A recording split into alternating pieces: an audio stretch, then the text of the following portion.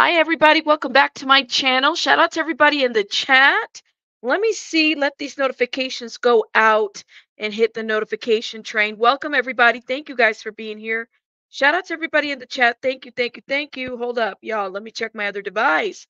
We're going to hit the ground running because we got a lot of ground to cover. Uh, this whole series, my thoughts, first part, and I was actually able to get some clips. Okay. So let me start by saying a couple things. First of all, for those that are wondering, hold up, y'all. Everybody see me? Let me know. Shout out to everybody. Thank you for being here. I have a survey on the poll in the chat. Let me know if you watched the series or if you're refusing to watch it because you're waiting for me to review it. Let me know your thoughts, okay? In that poll, please let me know your thoughts in the chat. Absolutely. A couple things I want to start with is um let's start with the series. Let's just go ahead and hit the ground running with that. Mm.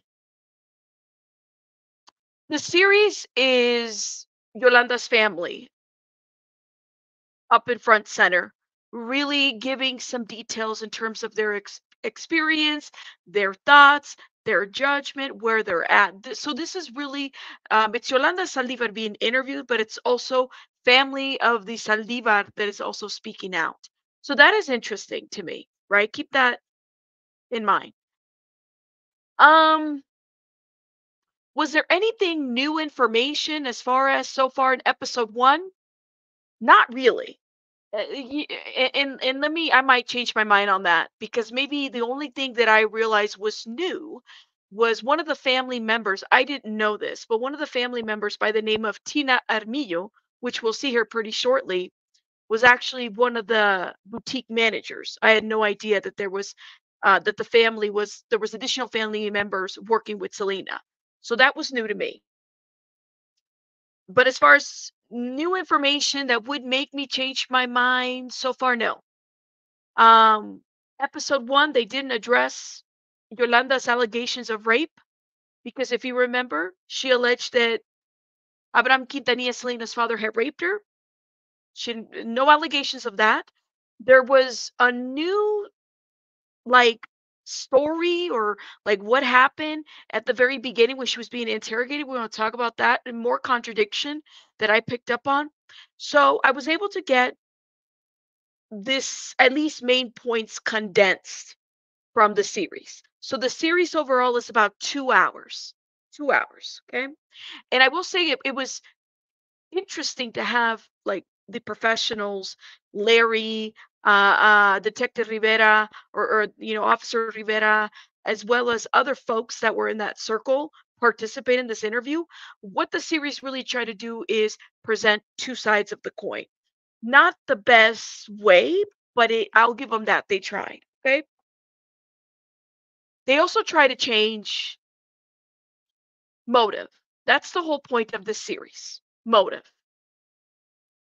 It was an accident. That is what they're trying to portray. So let's go ahead and get started with this little review.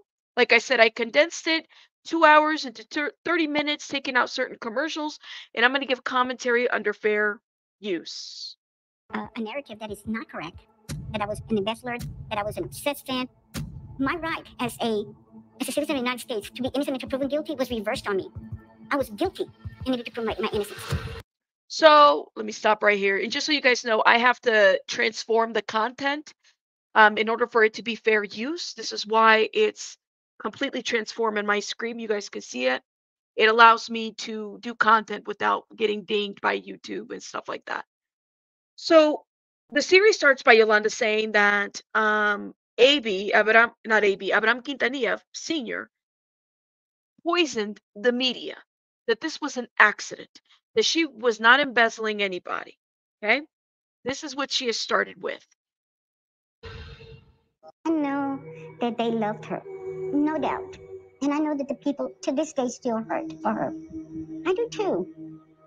And I think that Abraham took advantage of that sentiment, that sympathy, and used it for his benefit to This is an important part that she points out. She says Abraham used it, used the love that, that people had for Selena to his advantage, to paint a narrative.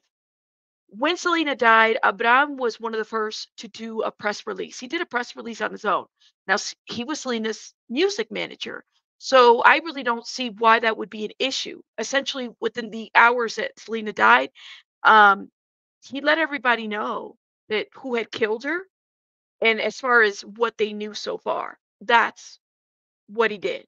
Now, the problem with this situation is that while he's having this press release, my understanding, based on how the series is pointing this out, is that Yolanda was still in the car with the uh, in the truck in the pickup truck with this uh, gun on her forehead.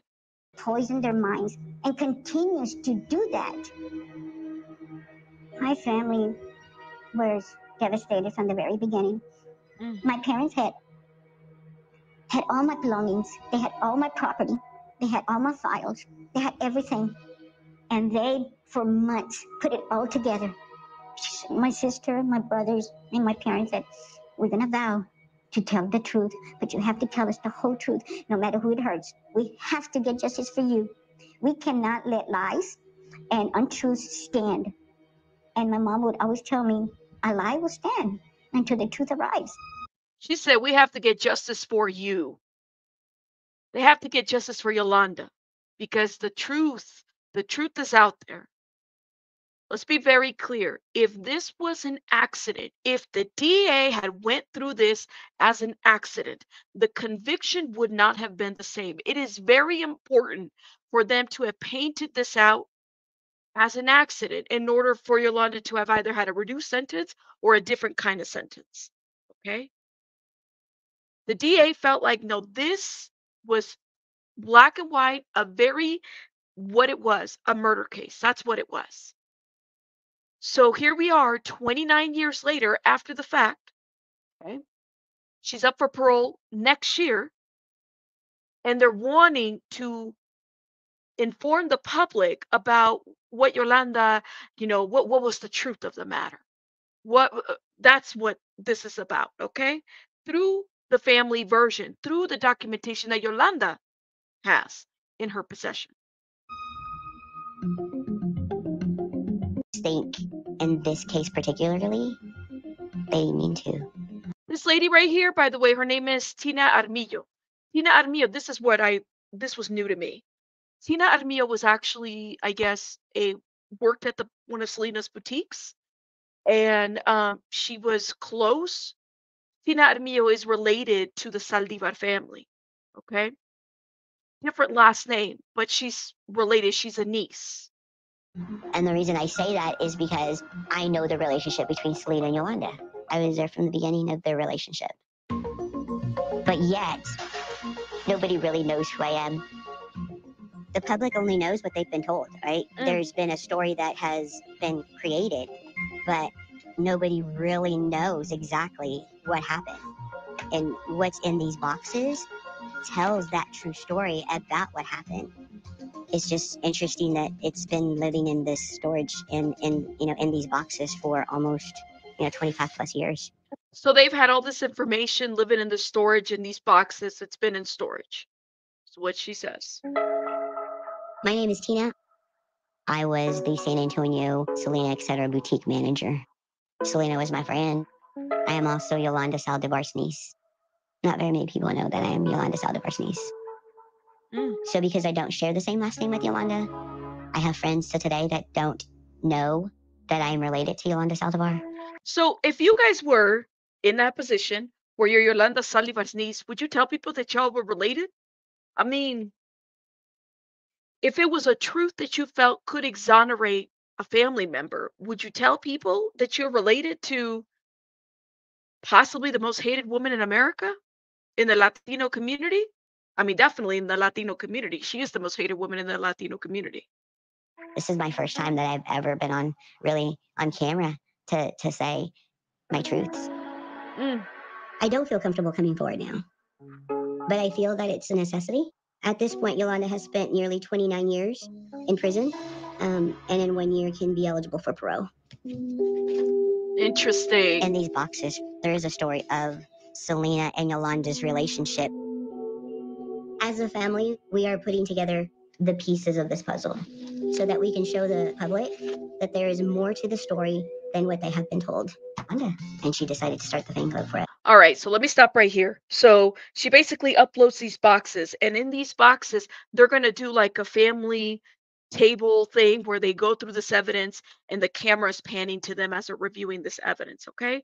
Um, it starts here by saying how the narrative is painted or it's said through their words that Saldivar, the Saldivar family, was helping Selena or helped Selena through the fan club. Th- that this was a family thing that they did where they were helping the Quintanilla family, which I thought was interesting. I was like, maybe that's how it went down. I don't know. At the beginning of the fan club, as a family, we all helped out. These are all great times. You know, the fan club, the shirts. Remember the pencils. The I remember the house just being cluttered with Selena stuff. The Saldivar family, they did a lot for Selena. We'd always spend a lot of times at the Saldivar uh, ranch having dinner, and we would uh, put all these packages together for the fan club. We were doing it for Selena because, of course, Selena didn't have nobody else to do it. Selena didn't have anybody else to do it to help her with the fan club. And this was around the time in the early 91, 92 when her her fame, she was really starting to hit and get uh, gather some fame and people knew her. Um, at the end of the day, Selena was very local to Corpus Christi. Selena had a house and her parents lived in the other house. I mean, they literally had houses right next to each other. And you would think it would have been like a McMansion. No, it was a regular schmegular type of house, you know, which is kind of nice. That I mean, that Selena could have been anybody's neighbor. She was. She had neighbors. That's where the relationship started. And then that evolved. That evolved into a friendship. Yolanda accompanied Selena for the filming of one of her videos. And so I think even the family, to a point, depended on Yolanda to be her chaperone. This is interesting because the the video that they're talking about was she went to go do the video for uh, Bidi Bidi Bom. Around that time, I believe Selena was already 21, so she needed people to accompany her. Like this is, you know, I don't know. Maybe it was a different time. Maybe there was because it's the music industry. As a woman, as a you know, uh, Latino woman, you have to have people accompany you to you know, uh, events. But this one I felt kind of odd. I said, well, she was she was also married. Couldn't her husband accompanied her? You know, I'm just thinking out loud of the way in which the information was being delivered here. Well, I I was running the fan club, and one day um, in July of '94, I believe, um, Abraham called me and said, Yolanda, we, we would like for you to to see if you can go with Selena go, to go to LA because she's going to be filming uh, Bitty Bidi Bom Bom, but none of us can go with her. Somebody has to go with her. And um, so I went. That's when the friendship started solidifying very, very close. We did a bunch of things. We would go to the park. We would go to the movies and uh, just hang out. And we go to the clubs. And she loved that. She just wanted someone that she could depend on. And she knew I was there to do her work like they talk about like she was obsessed and yada yada. But to me, this just like shows they were really good friends. You know what I mean? Like beyond just being a friend and an employee, she became her companion and her confidant. This is interesting. So then the family in this next scene tries to talk about how this narrative of an obsessed fan we've heard I've heard that time and time I and I've said it too um that there was an obsession she was an obsessed fan whereas the family standing here showing pictures and saying what an obsessed fan th- this is a friend this is a friend uh, this is not an obsessed fan. She became a confidant. She became somebody that Selena could talk to which would make sense if you know if she's traveling with you if you're connecting with each other y'all are you know in the same stuff like that would make sense that she would become a friend. But they're trying to dispel this narrative that she was an obsessed fan, which I was like, okay, can your friend, your confidant, also be obsessed with you? Yeah, you'd have it both ways, you know? Yolanda was protecting some of Selena's secrets, and not just some secrets that maybe the family didn't want out, but secrets from the family. Yes, and thank you, Justine. You know, uh, she was a fan though. She started as a fan. um, she was going to the concerts, whether she liked the music or not. That's she contacted the family to be to start the fan base because the Saldivar family as a whole liked the music, right? So she just became dependable, like, you know, to Selena. And so I think with that dependency came, you know, them even getting closer. They were best buds. They were pals. They did everything. They went to the mall together. They went shopping together. Yolanda. And this is one of the DAs, by the way, that is also interviewing in the series. His nickname was Buffy. The word Buffy is something that, like, in our little group, Selena, Suzette, me, some girls that we met through just through them that became our friends. Mm-hmm. Like we would always call each other Buffy. Like, hey Buffy. They just like, hey buddy, like, hey yeah. friend. You knew you were Selena's friend when she be- started calling you Buffy. You were part of her inner circle. Thinks that a lot of those big. So let me stop right there. Um, and they established the fact that there are some voicemails out there that the Saldivar family has where Selena is leaving voicemails calling her Buffy. So this this narrative of Buffy is is very important for the family. Buffy, like Buffy the vampire, not Duffy. Buffy, like kind of like bestie, buddy, but Buffy, um, Buffy the Vampire Slayer, kind of like that. Welcome everybody. Thank you guys for coming in. And let me shout out Jen, Hoffa, Gail, and Brown Eyed uh, Girl. Thank you for becoming a member, guys. Thank you guys. You guys are awesome. Thank you for supporting the channel. Um, yeah, so that was important. Now they bring in this reporter by the name of I forgot her. mm, I wrote it down. Her name is Kat, I can't remember her last name. What the heck was her last name? I'll remember it later. So Kat is a journalist. I believe she's a local journalist for that area. And Kat brings a very interesting point, which Kat Cardenas, that's her name. Kat Cardenas brings in a very interesting point. I wrote some notes. And basically, she talks about the fact that in the 90s, the tabloids were so unforgiving about women, Latino women specifically. I mean, I think that the tabloids have always been very unforgiving of folks. Even now, I think it's gotten worse. Um, and then at this point, anybody can become a tabloid too. So keep that in mind. But she talked about just the way in which Yolanda was painted. She was this 30 year old woman, didn't have children, wasn't married, versus you have uh, Selena, who was married, 23. So kind of the, the tabloids painted Yolanda as this villain. That's what Kat is basically letting us know that the narrative was going out there. And so then for us, especially the older generation, I mean, I'm a millennial, but if for those that Gen X's and those before that remember the Selena narrative, you remember specifically the narrative putting out there that Yolanda was an obsessed fan. So Kat kind of goes in here and talks about the fact that there's probably more to the story that folks don't want to consume. Kat, in my opinion, pulls in the Maria Celeste Arrarás, the reporter who basically decides to give the other side. Um, but to, to, I, I don't know if it's a, a way in which to excuse the murder that's the piece that I don't understand. And maybe in part two, I'll get it a little bit different. Responsibilities to Yolanda does speak to how close they are. Absolutely, it does. It went from being the president to being friends, and then growing that relationship where there was trust enough that Selena was like, okay, you know, you did a good job with the fan club. Um, I really do trust you. And so I'm having issues with my business. So please help me with my business when she started working for Selena. Shortly after that, um, Yolanda did resign as the president of the Selena fan club. When I interviewed Selena mm. for Texas Monthly Magazine, I had to pull stuff out of her to talk about her music career. She wanted to talk about her fashion design and her boutiques. Selena's dream was not to be the next Madonna. I think she would have been happy to achieve that kind of success. She was that success oriented and driven. But so this is an important part because um and and I've seen this guy be interviewed. I forgot his name, but I've seen him be interviewed in various um uh places where he talks about Selena. You know, Selena, he talks, he gives, he basically says that Selena was more passionate about her fashion designs than she was about the music. And her father has kind of opened up and said, I was more focused on the music.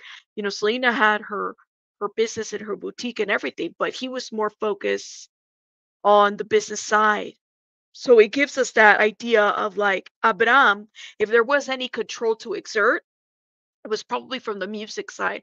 Whereas Selena, being the creative, she was able to control the creative side of her clothing line, her her style of, of clothes. Shamina, thank you for becoming a member. Perry, and to answer this, the Mexican tabloids are probably 10 times worse than the American ones. Uh, honestly, 10 times worse. But her dream was the one thing that she had that was her own. Selena, etc.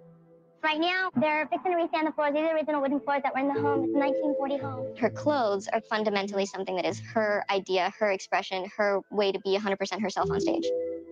Selena has this opportunity to kind of stake her own claim and have something that is just hers, and that's what she wants to be, Selena, etc. A clothing salon, a clothing line, a place that women could come and get their hair and nails done and look beautiful. The manicuring stations, you can see them right here, um, where they're going to be doing nails. It was going to be Selena's line, Selena's name. You could go to the Selena Etc. boutiques in San Antonio or Corpus and get into Selena's world on her terms. Her father, Abraham, was not her boutique manager. He See? didn't, he didn't help her out on boutiques. That was her deal. This was interesting. The man, the dad didn't help. I mean, he didn't really have a medal in that business, right? He was more about the music. And Lunar, yeah, I wasn't this that was new to me. I didn't know that there were additional family members that worked for the boutique. That's probably the only thing that I would say so far that is new information to me as, as far as the series. I didn't know that. And the fashion thing was her deal. There was a time where Abraham told Selena, you're either going to have to choose between your business or your singing career. Now, this is what she's alleging that there was a time that Abraham Quintanilla told Selena, you're going to have to choose between one or the other. And and she said, I can do both. I can do both. You don't own me. She was on the road to success for her fashion design and her perfume design. She knew it, and he knew it too. He was mad that she did not incorporate him into her businesses at all. Mm. Interesting. My role at Selena, etc., was to be the San Antonio manager. Now, let me stop right here. Keep in mind that Abraham Quintanilla said when I translated that interview, and make sure I have a whole playlist in the description box where I'm translating the first interviews from uh, Spanish to English. You guys can check those out. It's in the description box. Keep in mind, remember when Abraham Quintanilla said when the reporter was asking her, hey, um, asking him, hey, what, what were some of the regrets that you had as far as your daughter? Uh, Abraham said that he regretted the fact that he couldn't support, he didn't support Selena enough. Like maybe if he had supported Selena enough in the in the boutique, things would have been different. He said that. Meeting Selena the first time, I didn't feel like you were meeting like some big star that you feel so intimidated. Selena was like really down to earth. When I'm not performing or I don't have to do special TV things, I like to be like this, relaxed, just like anybody else. She made it easy for people to talk to her. We became friends. It wasn't like she was like a superstar to me. We go shopping, we went to the malls, we go out to eat. It was just fun girl stuff. Selena had these goals to do fashion in her boutiques. And the enabler, her helper that made this possible, was Yolanda. This is interesting. They labeled her as an enabler. What was Yolanda like if Yolanda was positioned in a in a situation where she is like the trustful person, the go between, the one that travels with Selena, what was she enabling? Exactly. And and I'm having a really hard time with the word enabling when Selena is over the age of 21 at this point. You know what I'm saying? Like, unless everybody was treating Selena like a child, then I'm like, well, damn. Like, come on now. Enabling what? Yolanda, I mean, she was kind of our direct supervisor. Selena felt very comfortable and trusted Yolanda enough to the boutique here in San Antonio. It's a little eerie. So here's the deal. It trusted in this is uh, Tina saying trusted her enough, you know, to say things to her, to do, you know, to have her around for different things. In the series, they actually traveled to Selena, etc., the initial boutique, right? They go to the boutique and she's walking through these halls and she's like, "Oh my god, this this place looks just just so eerie, right? Of what it once was. They once were there." And it made me wonder, I wonder what the other employees that were there would think at this point. Kind of curious. And says enabling her to be free of her father's control. Potentially, you know, because she wasn't really, you know, maybe Yolanda was playing both sides, right? I'm just thinking out loud. Um, any advice on how to watch the series? Um, there's another app that you can use called Fubo, Fubo, and I'll I'll link it in the uh, in the community wall or the description box when I'm done today. Okay. Um, so you guys can watch part two. You can sign up for like a free membership. It's also going to be available on Peacock. Uh, yes. Uh, let me see. I would think so, Ginger Snap. I didn't know Yolanda was so close in age. I thought she was some 45. No, she was in her 30s. Possibly, possibly trouble. She was in her 30s. Let me see what y'all are saying. Leah, thank you. Thank you, Mandy, for being here. Thank you. Cape says, Rabbit, what the father meant was if he was first, if he was involved with Selena's business, he would have caught the stealing Yolanda was doing before it got severe. Gotcha. Okay. Um, yes, Richard, thank you for saying that. I was I was sitting there and I was waiting for it. Two hours. This thing was two hours long, and I watched it three times. So y'all hit the like button because I wasted. I was like six hours in this thing, writing notes, downloading, editing, doing different things for you guys. Look, I was waiting for them to talk about the rape.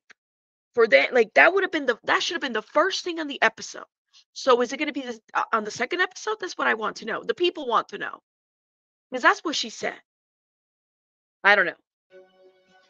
I haven't stepped foot into this building for like over 20 years. This was our main boutique area. That Look was my office. Looks very different. Just all the hard work we put into this place. Mm. Like all the sweat and tears, and I mean, that we just banging our heads together to make sure that this was successful. Selena and Yolanda, the ending of that relationship, it has um, overshadowed some of the precious, beautiful times that we had together. Tina, it wasn't the ending of that relationship. It was the murder of Selena that is overshadowed.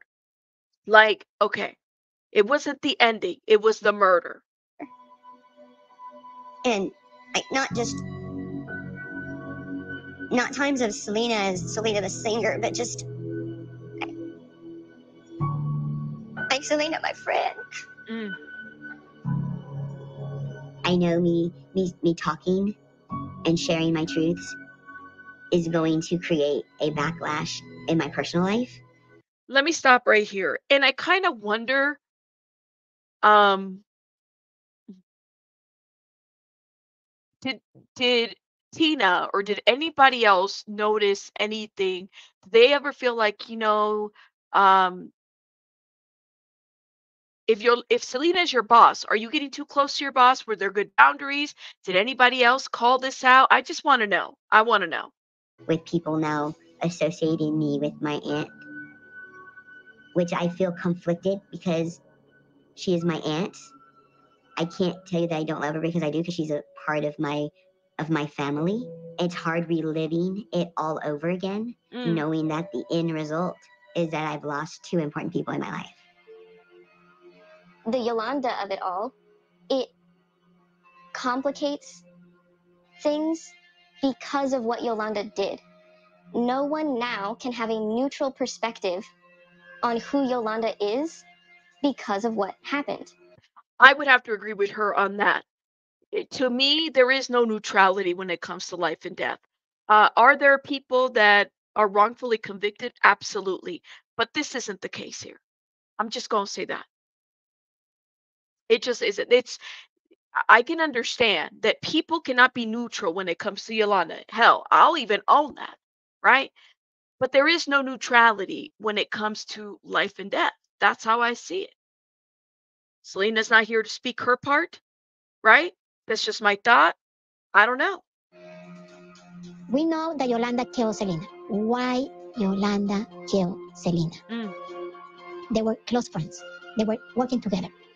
What was the motive? After 20 years, that's my question. What Why was the motive? Sometimes you can go back as far. Okay. So then this other journalist who is local to that area, um, she talks about she questions the motive. What was the motive? So then the the DA, they interview the DA, Carlos Valdez, as well as the other DA and the detectives to talk about motive. And they start kind of digging into paperwork and all that other stuff to paint motive, which is what you're supposed to do, right? But I kinda, and this is where I have to drag these professionals a little bit. I wish they would have been a little bit more ready because some of the questions that they're asking are valid questions. And we'll talk about those in a minute. But I did side eye Carlos, I did side eye the police work to a certain degree because there is some, if this is such an open and shut case, nobody should be questioning anything. There should be no conspiracy theories of anything. That's how I see it. Now, are there going to be people out there that have conspiracy theories? That's fine. There will be. But should there be when it's a murder case? That's the question. two or three years before. In this case against Yolanda Saldivar, we only went back a few months. Okay. In Here we go. January of 1995, Mr. Quintanilla, Selena's father, started getting phone calls from members of the fan club who said that they weren't getting what they were paying for. This is important. Yolanda Saldivar. She was the fan club president. So Mr. Quintanilla, who was always into promoting Selena in the band, would, would go to her and say, Hey, why am I getting these calls? Oh, they're just, they're lying, Mr. Quintanilla. They're just saying they, they want to get a free membership. They want to get a free picture, a free poster, and stuff like that. But it kept happening. He, he kept getting phone calls and letters. He knew something was fishy. During the investigation into the books of the boutiques, we Now, this is interesting. They're talking about the fan club, right? And then they go into the investigations of the books of the boutiques, okay? we found a lot of checks that were made by Yolanda Saldivar to Yolanda Saldivar, signed by Yolanda, and not just one check, two checks. There were thousands of dollars of checks deposited in her account. Abraham and Selena's sister, Suzette, thought something should be done, I guess. And then they bring Selena in. I think Selena was the last one to be convinced. On the evening of March 9th, Mr. Quintanilla called a meeting with Yolanda Saldivar. Important date.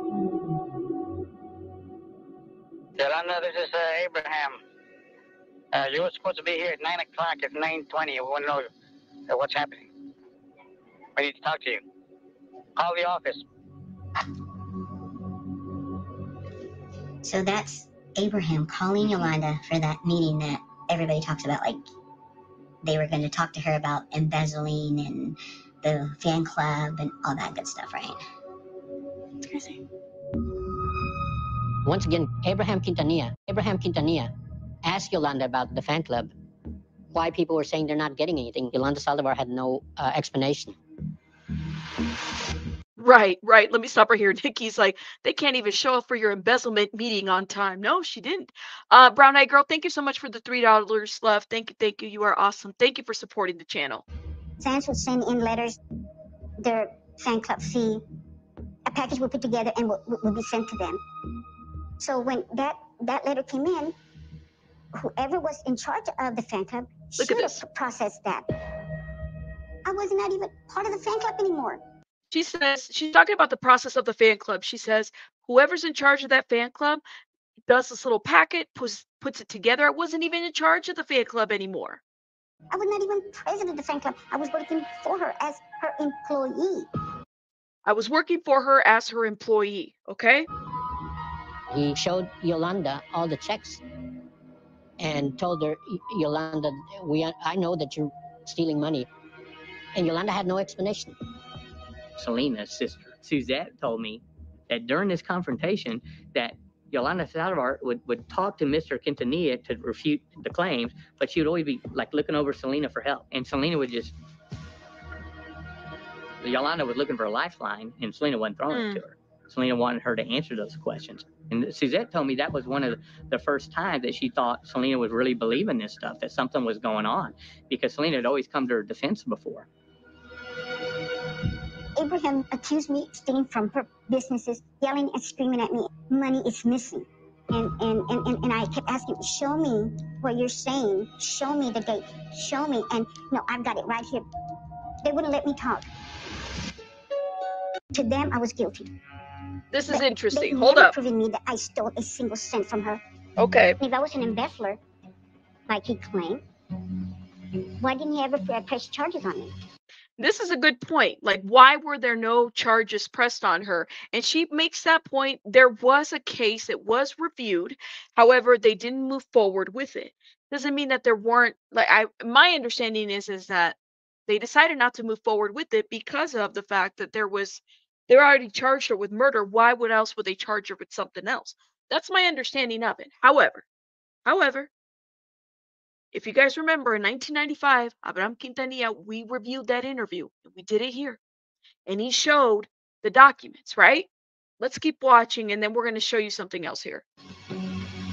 He didn't because he never had that evidence. All we can do is just try and figure Begins this month on Oxygen True Crime. All right.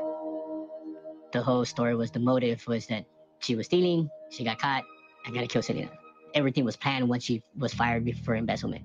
Right now, if you ask the fans of Selena, they're going to tell you Yolanda killed Selena because she was taking money from her. Look at that. They're saying that she embezzled from Selena's company. There's no way she embezzled from Selena's company because I worked at Selena's company. There was weeks that we didn't even have money to pay payroll. Not only was it the company, but what about the fan club?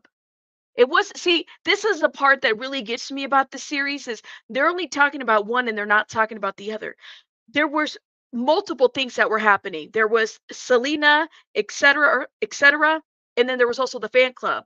That the fan club people would pay $22 to be part of this fan club and they would get sent this package, right? Uh people weren't receiving those packages or they weren't receiving what they paid for. They're not mentioning this in this part of that. And we didn't have money to pay payroll, not because Yolanda was stealing money or anybody was stealing money. We didn't have money to pay payroll because salaries were high. Secondly, we had no customers.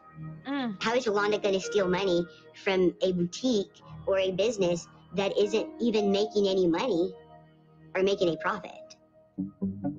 Interesting. When I started working for her, I, I had no idea what I was walking into. I had no idea. I came to work for her, and I was doing what she asked me to do. Selena was stubborn. She said, I know what you're doing because you're showing me. We went to Nations Bank, and, and even the president of Nations Bank warned Selena, look, Selena, your, your businesses are crumbling. Your, your creditors are calling me. Your payroll checks are bouncing. You don't have any money in the bank. And, and, and she would tell me, Yolanda, we have to do something to make my businesses work. This is inter- this is an interesting allegation that you could definitely find information about.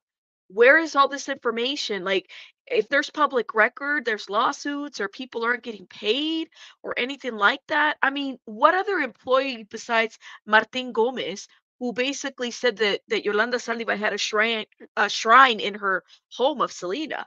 What other employees have spoken out? Anybody heard any other employees say they haven't been paid and they were working for Selena? This would have been a thing that would have been huge. They would have had to, especially if Selena was, as they say, so concerned about her image.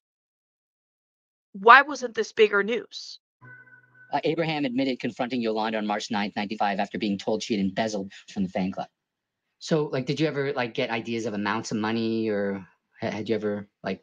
In, in your book, I think you said sixty thousand, and then another article it says ninety thousand. Let's make it 90, then it sounds better. I would say it was several thousand. I, I it probably was in between thirty and ninety thousand dollars, and there might have been more because we. And this is the shit that really gets to me uh, with this attorney. Again, this is the district attorney that uh, was leading the case against Yolanda. This is where you know you you you're going under national, international show, public television. This is the thing that you need an answer for right away. I don't know if we weren't certain uh we because we we stopped reviewing the amounts because we weren't really certain of the amounts. What are you talking about? You should know because now that's going to come into question for the folks that are reviewing this, right? Mm. We stopped at a certain point during the investigation. I don't know. Uh, I mean, I use my the sources that I used. I'd have to go back and look at my source, but Oh. everything was sourced. But again, you're dealing with a subject that is shrouded in legend. So it was really hard sometimes to put real figures on things like what was the amount of the embezzlement. The source is Abraham Quintanilla. We have the source. We know what he said. We never know how much money and how Yolanda took it because they were saying that Yolanda took a lot of money. Where is the money? Nobody found that. Yes, we know how much that money was. I think it's part of like the generational divide in talking about Selena is that for people like my parents and my older cousins, they remember more distinctly, oh, she was stealing tens of thousands of dollars from Selena, whatever figure it was, because it was in the tabloid coverage, it was in the zeitgeist at that time. After that, it's just kind of gotten a little bit more vague. According to No. the police, the No. whole motive was She that stole money. She stole money when there was nothing. There wasn't. But they needed this meeting and this motive to prosecute her. Yes. Let me stop right here, okay? This is the, the BS that I'm talking about. I'm going to show you. One second. I'm going to show you. We did this live, what was it? Four days ago. This live right here. In 1995, Abraham Quintanilla had been interviewed with Maria Celeste Arrarás in Primer Impacto. At about, y'all can watch that video, it's in the playlist. At about the 37 minute mark, Abraham talks about these checks. He talks about how Yolanda was using her sister's name, Eleida Saldivar, I believe has since passed away. I'm not really sure, but they don't really reference her there. So just kind of keep that in mind. To sign over checks. Abraham Quintanilla makes a quote. He says it's over about $6,000 of embezzlement that they know of based on the documentation that they have right there. It didn't, it wasn't 90, it wasn't 80, but if you go to the source, which is Abraham Quintanilla, he put in the amount. He said how much it was going to be. He said what it was. He said it in 1995. So why are we now in 2024 talking about I don't know how much it is. You know how much it is? I don't what, what you mean? Oh, I don't know. I'm the attorney in the case with the grand jury. I don't know how much it do you know how much it is? It's the thing about the generation and the families fight and the Mexican, the Latinos. Get the hell out of here. Get out of here with that. We knew uh, Abraham in 1995 said what the amount was. He said it was about $6,000 that they had calculated at that time. 37 minute timestamp. Check it out right there. Said it in Primer Impacto. Drives me crazy when people act like crazy like that. Anyways, let's continue, okay? She's never even been ever prosecuted for embezzlement. No, no. Mm. The prosecution it never proved in court that I was stealing anything. And even the district attorney said they never had evidence to charge me with embezzlement because I think it didn't exist. Abraham was going to carry that narrative no matter what. And there was no way, no room for me to even say what really was happening. The embezzlement investigation, it was never presented to a grand jury because it wasn't necessary in the end. During the trial, it's not really embezzlement that we need to prove. Thank you, Rem. That's exactly what I'm saying. What we need to prove is that Mr. Quintanilla thought there was embezzlement going on.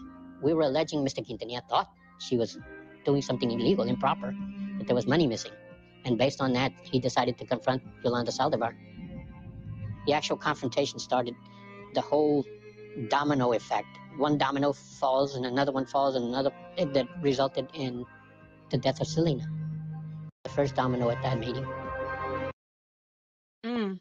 And goes to a gun store in San Okay. Antonio and buys This is a very important point. Let's talk about the gun store. Okay, a place to shoot. That was the gun store.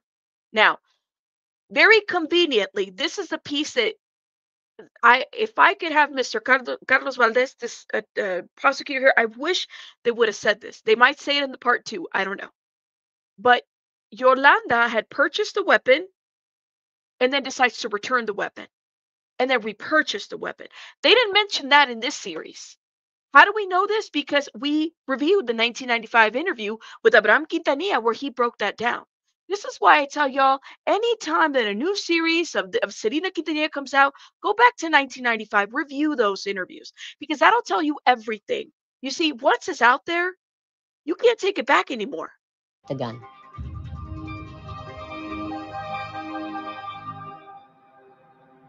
She goes to a place to shoot in San Antonio and she files what's called an intent to purchase a gun. In Mm. Texas, we have a three day waiting list. Comes back three days later on Monday and pays the balance of the gun. When you buy a gun, you're not going to go deliver daisies. Why would Yolanda Saldivar need a gun? There's a reason you buy a gun. You buy it for hunting, you buy it for self defense, or you buy it to kill somebody. There you go. Why people buy guns? I went and, and, and, and I bought the gun. It was after the, the March 9th meeting. I didn't feel safe. It was my own self defense. That if anything came my way, I was going to protect myself. I was fearful. Selena wanted her financial documents that Yolanda had access to. Yolanda had all these documents that Selena needed to prepare her income tax. As long as she has that information, Selena has to go through Yolanda to get it. And so Yolanda Saldivar would hold on to these records because she knew that was her link to Selena. Yolanda's world is she's with Selena. If that ends, the last thing she Okay. saw on earth was Yolanda Saldivar, room 158. So Selena needed to get these documents because she was going to file her taxes. Um, one thing again, the episode doesn't address the whole repurchasing of the gun issue, which is, I think, a very important part of premeditation and intent. Right? It, it throws away the accident narrative right off the window. Like you just, it, it does. Okay, so keep that in mind. I am so sorry she's gone. I'm so sorry that it all her family's hurting. And I'm so sorry my family has hurt.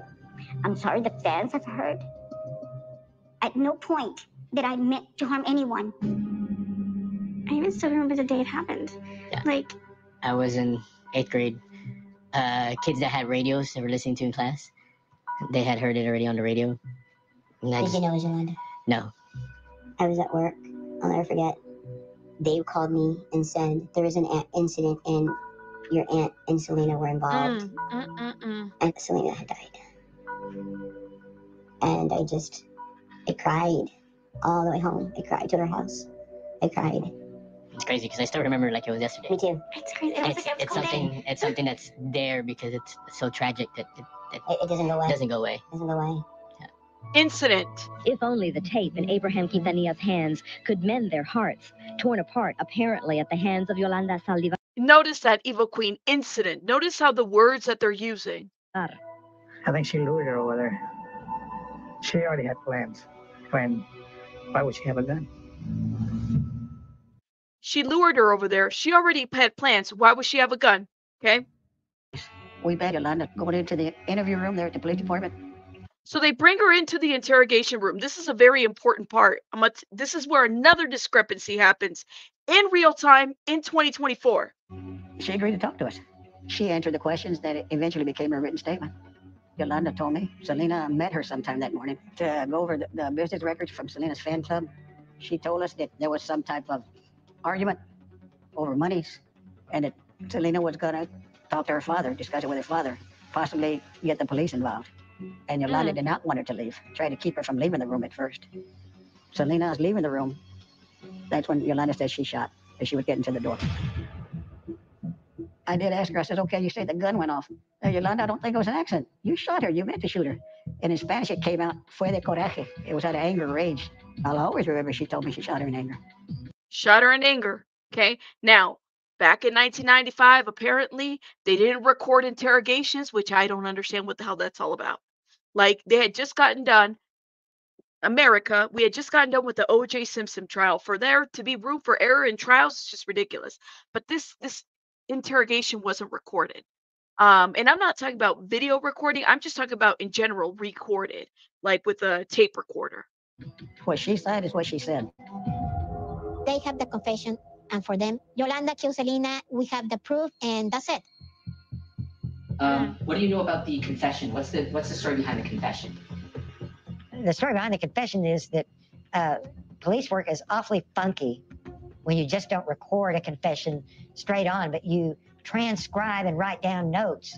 And we never hear the full audio of what actually went on. That methodology leaves so much room for interpretation. when they got me in the Interesting. interrogating room, uh, Paul Rivera was upset and he said, I've been out here since this morning, and it's almost midnight. I need for you to tell me what happened. We're hungry, and we need to get going. Look at this. He was Look at trying to intimidate me, and he says, "You you went to that hotel to kill her. You went to." No, no, I was, I was in the hotel. I was asleep. The detectives tell her, You went, or the officers, you went in that hotel to kill her. Yolanda says, No, I was in the hotel and I was asleep. Hold up, hold up. I thought that she had called Selena because allegedly she's alleging rape and that she was bleeding out and she needed Selena to take her to the hospital. And that's what was going on. This is in real time, 2024. What happened? That's what Mm, that's what she said. She said that's what but there was medical staff that went to the trial and testified where she neglected to get any medical treatment. So now she's saying in here that Selena went to the hotel. She was asleep. So Selena just showed up to the hotel, said, Hey, what's up? I'm just here. What? She called her to come over. She needed to go to the hospital. Yeah. I didn't go to the crime scene. She came at eight o'clock in the morning to my room, and I, I, I was I was telling him all this, and he was writing. I was there telling him, "Well, no, no, you you you're writing that wrong because it didn't happen like that." And he said, "No, no, this is what happened because we have evidence." And so he said, "Okay, I need for Yes, thank you. yeah, Nikki called her twice. So this is her new, this is more contradiction, more contradicting information. This is in in 2024. This is the new docu-series. This is what she's saying. So was she asleep or was she not asleep? Did she call her twice? Did she not call her twice? Was she raped or was she not raped? Notice how conveniently they're not even mentioning the rape in this new series. They're also not mentioning the fact that she told people that Abraham had raped her. Are they going to correct that in part two? Mm. for you to." Did you know the gun went off? Yes, it, it- I, I heard it. I heard it go off. And, and how It, did you react? startled me. It startled her. It startled me. I did not know when my gun went off. I did not know that it hit her because I thought that she just ran. Like it, it scared me. It scared her. All I can say is that there was never, ever any intention to do her any harm. Look at this. When Yolanda says it went off without me really trying to, I honestly believe her. I've never had any doubt in her. Like, for it to have been intentional, never. Yolanda Salvador wasn't pointing a, a glass of water at her. She she was pointing a gun, you know. So she if- was. If, you knew that something was going to happen by pointing a gun at somebody. Also, we knew what had happened before and after she shot Selena, and we knew what Yolanda Saldivar had done right there at the scene. The fact that you'd call your best friend a bitch, okay, under any circumstances, right, especially under such horrible circumstances as shooting them, to me, indicative of what's in her mind. Yolanda called Selena a bitch, but she didn't So there was a witness, and I've said it before. There was one witness who failed. Okay, only one person heard her say bitch as she's shooting up the gun. Okay, she's leaving that room. The woman that heard her, one of the maids of the hotel room, didn't even tell the police till later on. It didn't happen right away. So people have since discredited the whole bitch thing but there was more than one person that saw her walk out of the room with the gun still in hand. You see, when you accidentally shoot somebody, why would you just keep holding on to the gun? Why not drop it? And if you're a nurse, why wouldn't you render aid to your friend? Especially if you called your friend and told her that you had been raped and she's out here taking you to the hospital to render aid to you. Like, which one is it, Linda? Yolanda? Really, which one is it, Yolanda? That should I I should have said that. Not tell police this the day of the murder. Mm. There was other maids and other hotel employees at the scene who have questioned if this lady was even telling the truth. Yolanda calling Selena bitch did not quite fit neatly into the puzzle that the prosecution had constructed. There was another piece of the puzzle that didn't quite fit, and Yolanda's defenders believe completely flips the narrative. Interesting.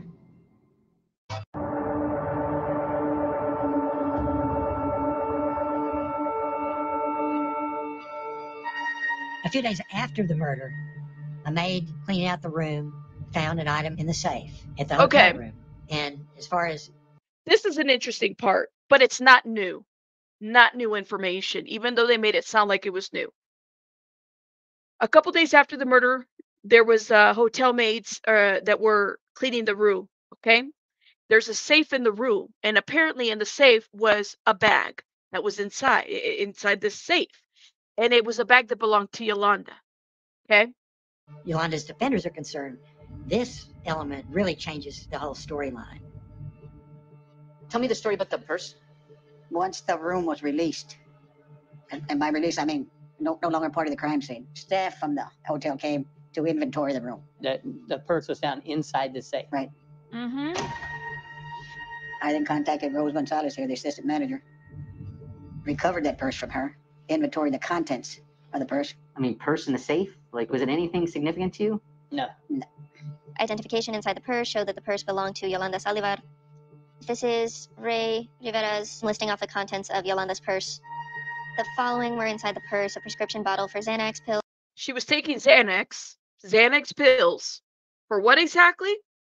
Pills for Yolanda Saldivar, her nurse card, the letter from the attorney. A letter from a Richard A letter from an attorney. Garza, an attorney. What's that? What was the letter? I don't recall Don't recall what. the letter itself. So here's the detective. Well, what was the letter? I don't recall what the letter was. Mark, any idea? Was that the resignation letter? I don't remember anything about the resignation letter. Tell me about the resignation letter. The resignation letter from from uh, I th- whose resignation letter then? Come on, Carlos. There was a resignation letter from Yolanda. There was a resignation letter in the purse that was found in the safe. Carlos, I I remember something like that. I, I yeah, there was a resignation letter. writ- I think it was written by her lawyer. bec- and that's a great question. How did they miss this? That is an, and that's the piece that I'm like, either shitty police work, they didn't check every portion of the room. Let me tell you something. One thing I learned I have a bachelor's in criminology, and there was a detective or a former detective that was a professor of mine.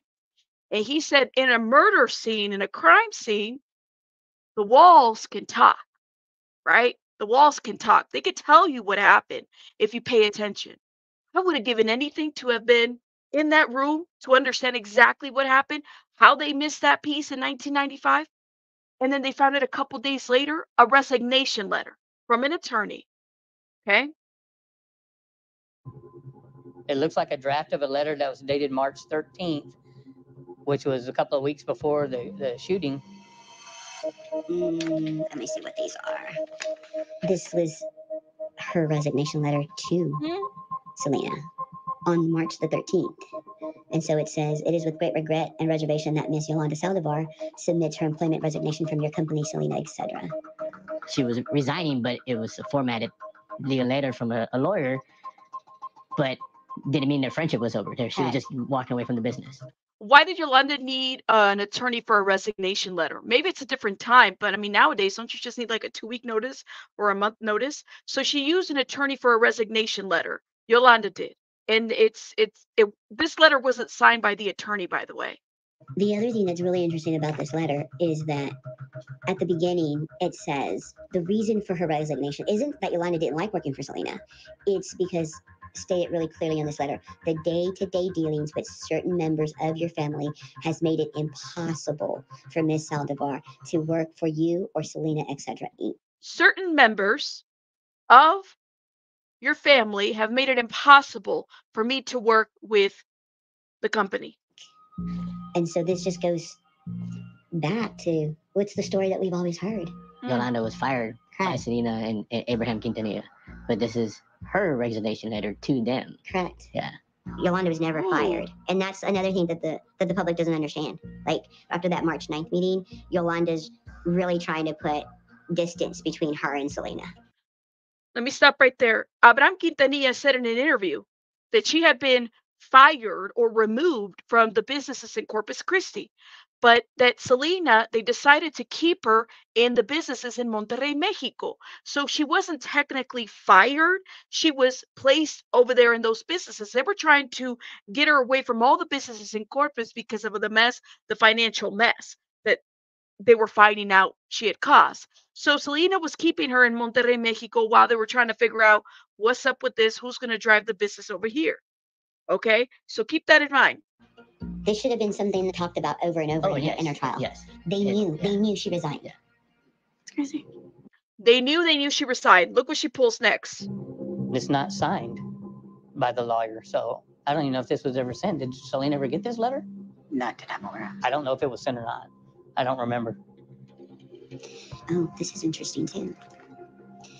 So they say that this was like this was never sent, but I'm looking at a police statement that Chris, Selena's husband, made on April the 5th.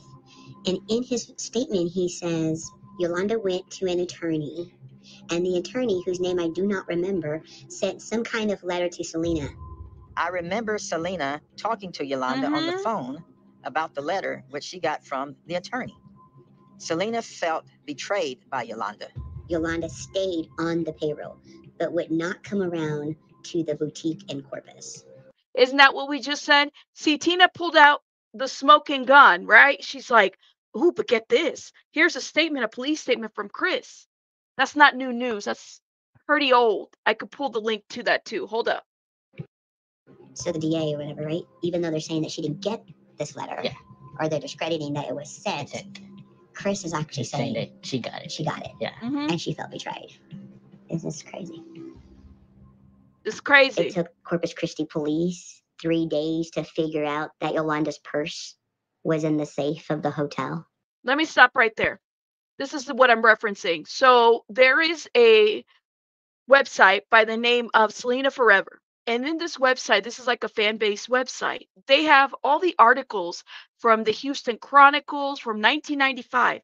And in here, this specific article outlines Chris' uh, um, acknowledgement of the letter, that statement right there, because what they're saying is that the police ignored the theory that, and the DA ignored the theory that Yolanda tried to commit suicide, which the way in which this docu-series is going, I'm pretty sure that's where they're going to take it to. They're going to say that Yolanda got the gun, purchased purchased it once, repurchased it again, decided to commit suicide in front of Selena. That was her attempt, and then the gun went off. Accidentally, didn't mean to, that kind of thing. So, in this article specifically, it says right here that the letter contradicts testimony by Selena's widower, Chris Perez, who told jurors last week that Sal- Saldivar had been fired by Selena, but was kept around so they could collect missing business records from her. The letter was written four days after Selena, her father and manager, Abraham Quintanilla Jr., and sister Suzette confronted Saldivar at the family recording studio Q Productions, asking her about money they believe was missing from the singer's business. It was also written the same day Yolanda Saldivar picked up the 38 revolver from a San Antonio gun shop. The state plans to wrap its case today. So, this very old article, but what she's pulling out, this rabbit out of the hat, the smoking gun, it's not new. It's been known, it's been out there. Okay? So, it's just everybody's aware. Not new, not new information. All right? Let's keep reviewing. Let's keep going. We're almost done here. that there was a resignation letter and then it just boggles my mind that once they found it that they just dismissed it It's confusing behavior. And I don't know why would a cop who finds this resignation letter in the safe in Yolanda's hotel room not hmm. introduce it, investigate it, pursue further lines of questioning about it? That's a good point, right? If y'all found this evidence, why not keep investigating? Would it have changed everything? Would it have given a different motive of the murder? Would it have supported an accident theory? I don't know. Let me know your thoughts in the comments. You know, that's that's that's something that really bothers And again, these are just clips, just so everybody's aware. I, I think that March 9th meeting really made some impression with Yolanda. Something scared her that um, shortly after that, on the 11th, uh, my grandpa and my cousins go down to Corpus Christi with the with the trailer and and bring all of her stuff back to San Antonio. Completely moves out of her apartment. What I want to know is that so one of the things that they found in her purse. Thank you, Susie. Uh, one of the things that they found in her purse, in that purse that was in the safe, they found a bottle of Xanax that was prescribed to Yolanda. I'd like to understand what her state of mind for her to have taken Xanax.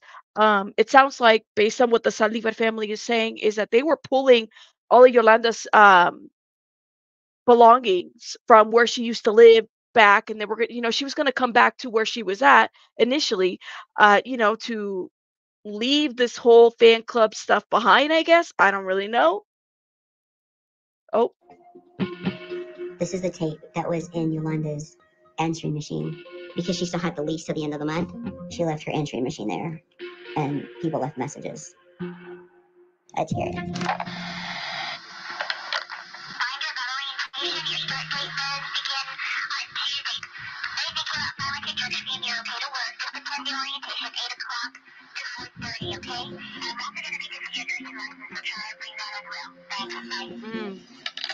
That is her orientation for the job that she got. So in her voicemail, in Yolanda's voicemails, uh, they found that she was having like uh, employers were calling her, letting her know when when orientation was going to be for a future job. The family is trying to say here that essentially Yolanda wanted to resign, supports the resignation letter, wanted to leave the whole fan club and Selena stuff alone, and wanted to move on with her life. She wanted to get a job. This is what the family is saying. Now I don't know. Let me know your thoughts in the comments. But again, they're not showing dates of these voice recordings. They're not showing like there should be a date on this, but there isn't. These are just recordings that they're pulling out of tape. We should be able to tell when these were actually recorded. This is an orientation. So Yolanda was moving Uh, on. she was moving on. So where is the I'm gonna kill you because you're firing me when somebody left her a message on her machine about starting a nursing job all over again. Yeah.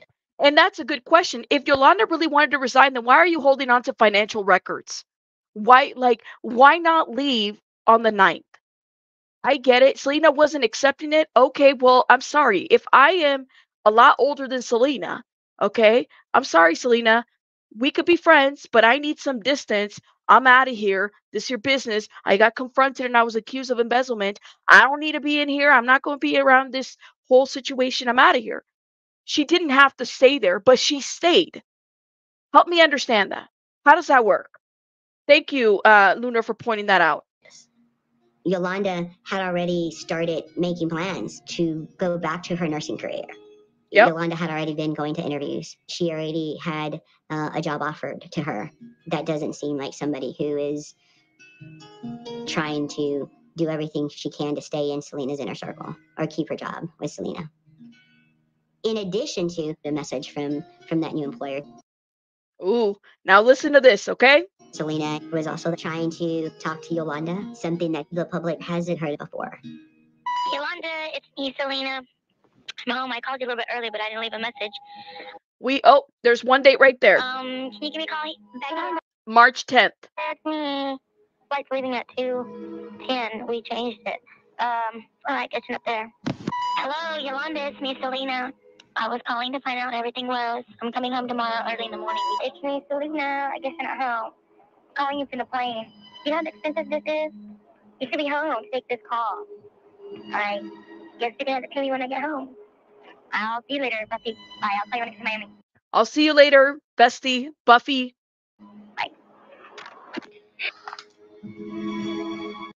You know, typically voice recordings isn't there like something that says March 13th at 5 p.m.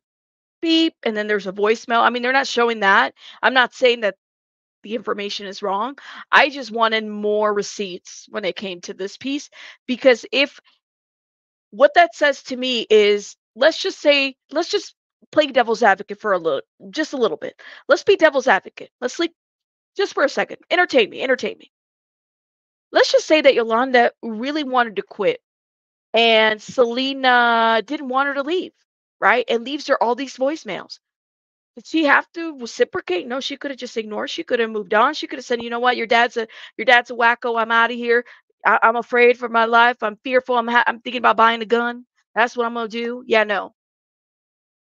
What do these voicemails actually tell us, anyways? At the end of the day, does it paint a different narrative about the obsessed fan situation? I don't know. Maybe. I don't know. Let me know your thoughts in the comments. Okay, okay.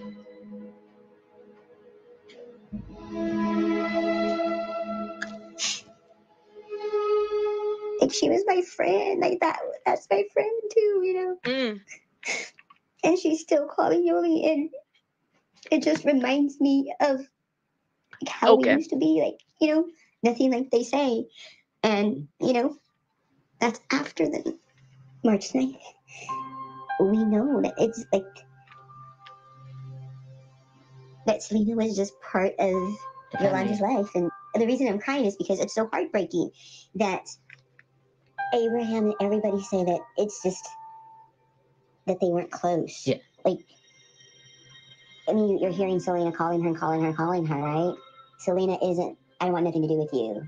You know what I mean? Yeah, like, and yeah. that's and that's what that's always been betrayed. Yeah. Uh, if you knew this person was stealing, you knew they were bad, you knew your family didn't want this, this person in your life. Why would you continue? She's not scared. Like, it, there's no fear. There's there's no fear there. It's almost like, Mm. hey, where are you? Yeah, where, where are are you? you? Like, I need you. She was trying to keep that friendship. Yeah, but people were trying to pull them apart from each other.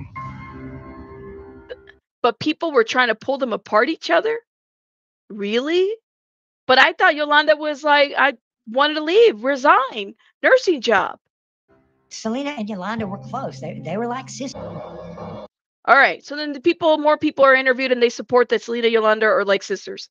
Let me keep watching. Let's watch. What is this? Uh, receipts and documents from a place to shoot. This is where she bought the gun. It doesn't make sense that she would have just gone and bought a gun No, out of the That- out, out of the blue. out of the blue. No. No. What doesn't make sense is when she bought it, returned it, and then bought it again. That's what doesn't make sense to me. And what doesn't make sense that if Yolanda was so in fear of her life, why didn't she file any police reports? She alleged, and I'm pretty sure this is going to be in part two. She alleged that her sla- her tires were slashed. She alleged that she was being stalked, that people were cutting her brakes. Are there any police reports out there that would substantiate her allegations at this point? I don't know. I mean, maybe there is. I don't know. I don't think so. Which just shows you that something scared her. It wasn't just about embezzlement. There was something else going on. There was. There was She was taking Xanax too. So she was trying to calm I'm I'm assuming it's for calming her nerves and, you know, helping her and everything. Maybe maybe there was something. Maybe she was at a breaking point. something something vengeful, something hateful. Something. There was a point, probably about Mm. three quarters of the way through the seven and a half hours, where Yolanda wanted to talk about a lot of things. Then she started talking about how she was afraid. They, they threatening me. They killing me. My friend's father. What she's saying is, I was afraid of There you go. Okay. So she basically says, I'm afraid of my friend's father, all this other stuff. And that's essentially where it leads on. That's the last clip, but that's, you know, um, where they keep going and essentially lead on to part two, which part two is tonight. There was no restraining orders. There was no police report that said that she was afraid of her life. There was nothing. There was, if anything, there was enough information out there to say that she was a calculated kind of person. I'm sorry, it just is. I would have given her the benefit of the doubt. I mean, go back to the articles in 1995. This one's specific. This one's called the, and I go back to the local reporters. Um, the Queen is dead. This is 1995, okay, out of Texas Monthly. All right. And if you go to this is um somebody wrote in here that says the killer. And and they essentially describe Yolanda's obsessiveness obsessiveness drove him to quit. So Martin Gomez, who was the other person who discussed the fact that Yolanda was just so obsessed with Selena, he had to quit. He couldn't even be there, right? He substantiated a lot of the information that was going on a lot of the the conflicts that he saw felt like were driven by Yolanda. It was said she was a loner who had lived with their mother until recently had new friends. She had once been accused of embezzling funds from a previous employer, we talked about that, and had uh, defaulted on student loans. A woman who moved into an apartment with Yolanda discovered that Yolanda didn't just have pictures of Selena on her walls, the whole place was like a shrine. So it spooked the woman and moved out after two weeks. Okay. And then additionally, the narrative of how much was embezzled. Abraham Quintanilla said it himself. Abraham Quintanilla said it himself how much the amount was. Okay. He showed us those checks. This was clearly before she died. It was like a couple weeks before the murder, but these were the checks. These were what they were confronting Yolanda with. Preguntamos a Yolanda, Yolanda, ¿por qué empezaste tú eh, eh, la cuenta del fan club, de los club de fanáticos, bajo el nombre de tu hermana María Elida Saldívar? Yolanda, why did you uh, uh, sign on the fan club checks under your sister's name, Maria Juda Saldivar? Why doesn't the docuseries answer that part? They gloss right over the embezzlement allegations. They didn't charge her with embezzlement, therefore it didn't happen. Okay. Why doesn't why didn't they talk about the fact that they have these checks and their the signature looked very interesting? Are they not able to talk about that? Cuando ella ni siquiera era miembro del club. When she wasn't even a member of the of the club. ¿Por qué no dejaste que la tesorera se encargara de eso? Why didn't you let the treasurer handle that? Mm. ¿Y cuál fue su respuesta? La respuesta What was her response? de ella es, señor Quintanilla, es que el banco no me permitió abrir eh, una cuenta eh, sobre el nombre de la te- Her response was, Senor Quintanilla, uh, it's just that the bank didn't let me open uh, an account under my name. All right, so I'm gonna stop right there. Feel free to watch all those videos. It's in a playlist. Those are all translated. The very first interviews in 1995 are very important because you will notice that some of this information has already been told before. There's some parts that I'm like, I didn't know this. Maybe the fact that there was more relatives working in the company that I didn't know about. Um, and then also the Selena voice recordings. That's pretty new. That's new, new. Uh, but I guess we'll see. Let me know your thoughts in the comments. If you like this review, please hit the like button because we're going to be reviewing part two tomorrow because part two airs tonight. Make sure you watch it if you can. There's a free app called Fubo, fubo.com, where you can get like a like a trial for like a week and you can watch it there uh, if that's what you want to do. Or if you just want to wait for my review, then we will see you guys tomorrow. I will see you guys on the next one. I got to head out. Have a good one, guys. Bye bye.